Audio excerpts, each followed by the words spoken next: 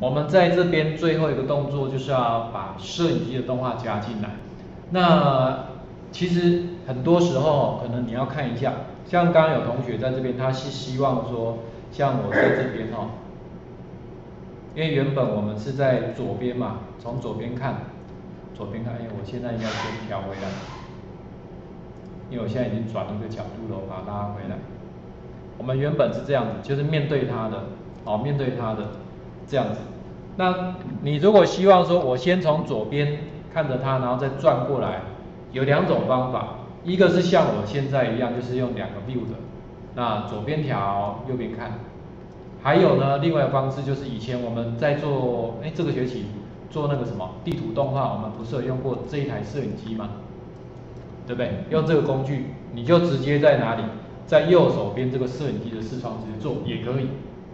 反正只要观念对了，A 工具、B 工具，白猫、黑猫都是猫，好吗？这样了解，好，白猫黑猫都没有问题。怕的是观念，就是你的三 D 还不确定的时候，你就找不到。如果你要用两个六的方式的时候，我会切到哪里？切到刚刚的上视图比较好转，比较好转。那如果你要这个工具，我先建议各位。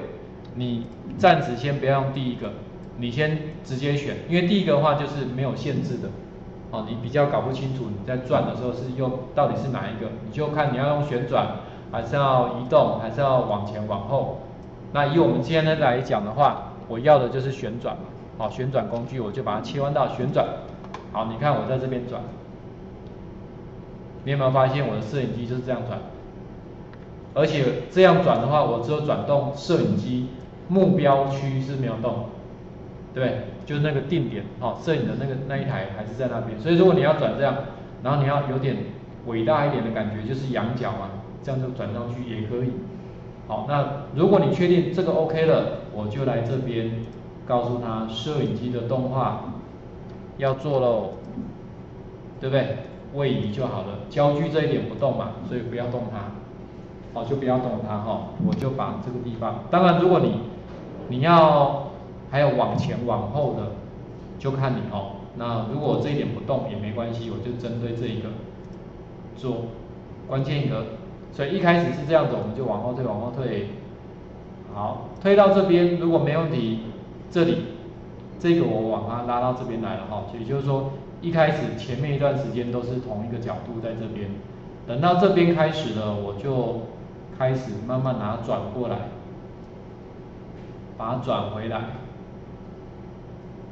有没有？把它转回来，然后呢，把它再翻一点点，因为我刚刚有稍微往下哦，我稍微有刚刚有稍微往下，你也可以看左手边，好看左手边。好，转回来之后，我想要再怎么样前进哦，冲过去，因为有时候转场是像到这边之后就冲进去，就变成什么？另外一个真正另外一遍一段影片的开始，所以我就切换工具，我要做前后的哇。前后的，我要冲进去了，冲进去，好，你可以冲到看你要冲到，假设解析度够的话，你就可以这样，好，好，这样就冲进去喽。所以你看，做完，转场，转好，有没有就往前冲了？那如果你想要让这个路径比较直一点的，当然就是要背值曲线调一下，好，背值曲线来调一下，因为它会有点。跑到另外一边嘛，稍微有点冲过头，对不对？背值曲线拉回来，这样有没有比较直一点？